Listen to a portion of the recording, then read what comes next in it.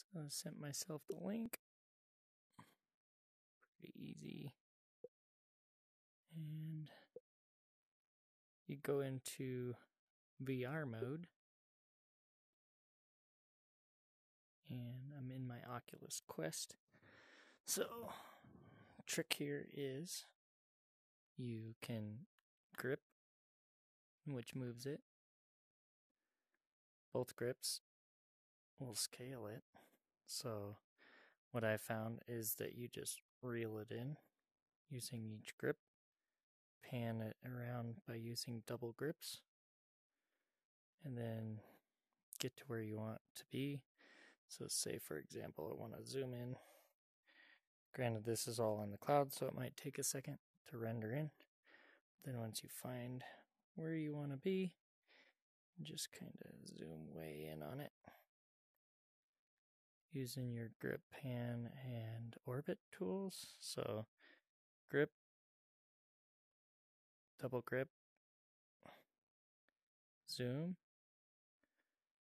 Yeah, this is way better than trying to do it on a computer. You can look around with your head, um, you can spin all the way around. And I'm out of my little circle there, but whatever. Um, yeah, this is a game changer.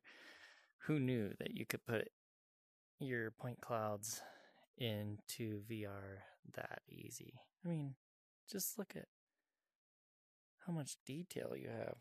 Get down, act like you're right there. You know?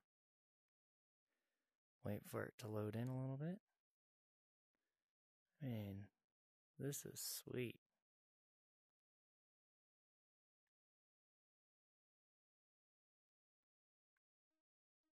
This was just done for an ortho, and you can see uh, the level of detail. You can even see where a ditch has been blown out